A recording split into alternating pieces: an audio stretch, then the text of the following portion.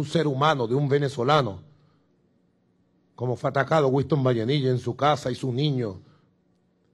Y él decidió estar en su casa. Yo le dije, por los momentos, mientras esto se apaga, sal de allí. Me dijo, no salgo de mi casa, me dijo.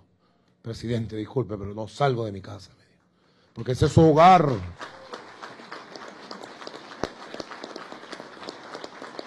Elevemos esto.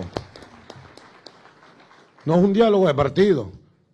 Esta conferencia de paz cuando avance seguramente creará alguna mesa o algún capítulo para los partidos, fuerzas políticas. No, es un diálogo de la sociedad.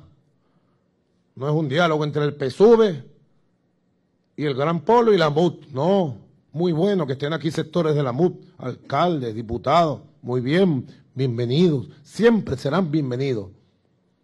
Muy bueno. Y que estén también diputados del PSUV, dirigentes del Gran Polo Patriótico, el PPT, Podemos, etcétera. Redes. Pero esto trasciende los partidos. Entonces, avancemos hacia un modelo que incorpore la sociedad, que incorpore nuestro propio modelo, pues, nuestro propio modelo. Y ojalá pudiéramos ir estableciendo una agenda de trabajo, una agenda de temas, para ir trabajando cada tema, degranándolo, cada tema en relación a nuestro país.